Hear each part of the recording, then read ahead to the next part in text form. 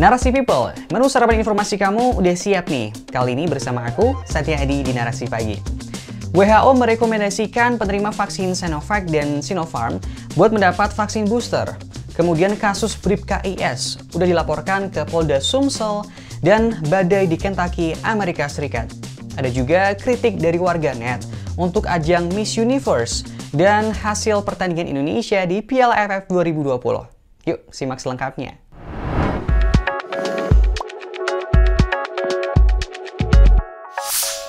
WHO mengatakan penerima vaksin Sinovac dan Sinopharm sebaiknya mendapatkan vaksin booster atau vaksin dosis ketiga.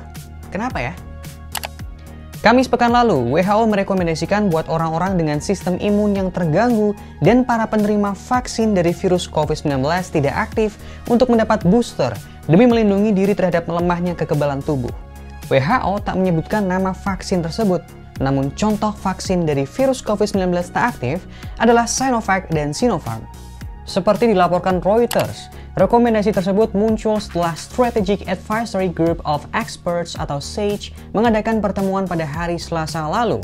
Mereka mengevaluasi perlunya booster COVID-19 yang sejalan dengan panduan yang diberikan pada Oktober.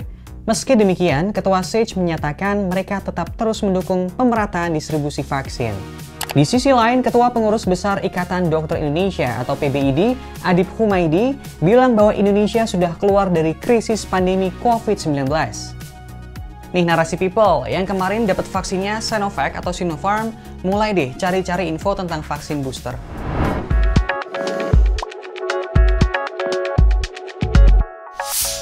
Kasus kekerasan seksual yang melibatkan aparat kepolisian terjadi lagi. Kali ini, Bribka IS diduga menghamili istri tahanan di Kabupaten Ogan Ilir, Sumatera Selatan. Kasus ini bermula saat Bribka IS mengajak IN dan temannya jalan-jalan ke Palembang. Karena alasan sudah malam, IS memesan dua kamar hotel, satu untuk dirinya, satu lagi untuk IN dan temannya. Polisi berusia 39 tahun itu mengancam memindahkan suami IN, yakni FP, ke Nusa Kambangan. IN sendiri terpaut usia 19 tahun dengan IS. Berdasarkan pengakuan IN, dua minggu setelah Bribka IS melakukan aksinya, IN hamil. Kini, usia kandungannya memasuki sekitar dua bulan. Kasus ini terkuak setelah dua orang kuasa hukum FP membuat laporan ke Bidang Profesi dan Pengamanan atau BID Propam Polda Sumatera Selatan pada Jumat 10 Desember 2021. Laporan itu sudah diterima dengan nomor STTLP garis miring 33 garis miring yan titik 2 titik 5 garis miring X garis miring 2021 garis miring yan 2. Kapolres Lahat AKBP Ahmad Gusti Hartono mengatakan hari ini Brib KIS akan disidang. Kapan ya aparat kepolisian bisa benar-benar profesional dan bukan malah menggunakan kuasanya untuk melakukan kekerasan seksual?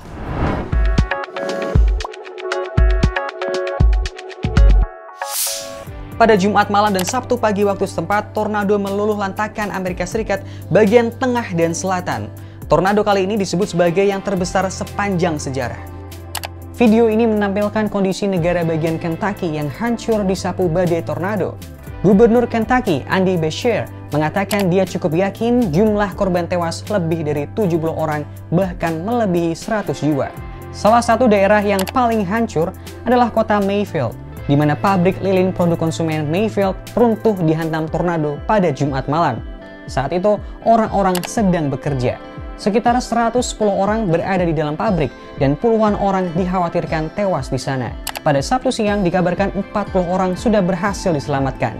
Sementara di Illinois, gudang Amazon ambruk dan merewaskan 6 orang. Gak hanya Kentucky dan Illinois, Missouri, Mississippi, dan Tennessee juga diterjang tornado. Setidaknya 80 orang tewas akibat tornado itu. Presiden Joe Biden sudah mengeluarkan deklarasi darurat bencana di Kentucky pada Sabtu kemarin.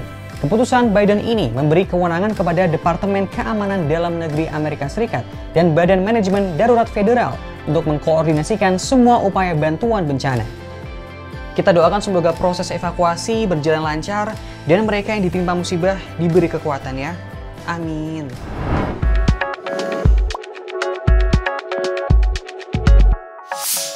Ajang kecantikan Miss Universe 2021 yang lagi berlangsung di Israel mendapat kecaman nih dari warganet.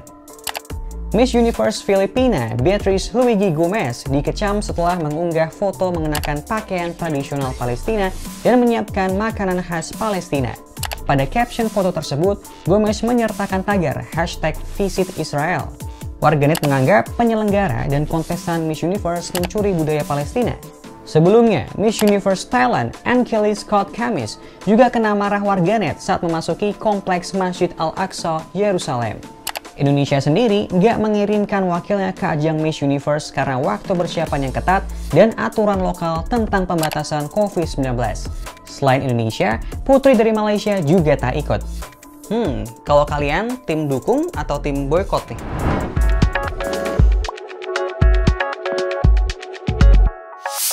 Kemarin sore, Piala AFF 2020 menyuguhkan pertandingan antara Indonesia melawan Laos. Indonesia berhasil menaklukkan Laos dengan skor 5-1.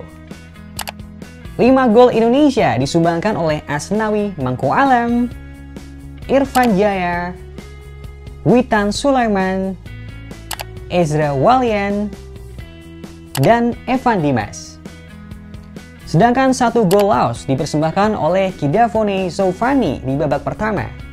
Dalam pertandingan ini, Irfan Jaya menjadi man of the match setelah sukses menyarankan satu gol dan satu assist.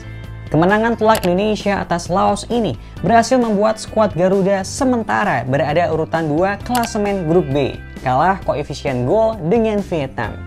Sebelumnya, Indonesia juga menang atas Kamboja dengan skor 4-2.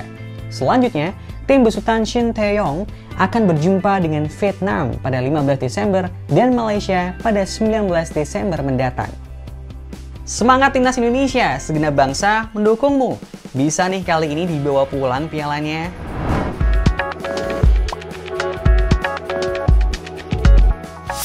Itu tadi 5 sarapan informasi kamu hari ini. Besok, Narasi Pagi akan hadir lagi pukul 8 waktu Indonesia Barat live di Instagram Narasi Newsroom dan Mata Najwa. Sehat selalu kawan, sampai jumpa!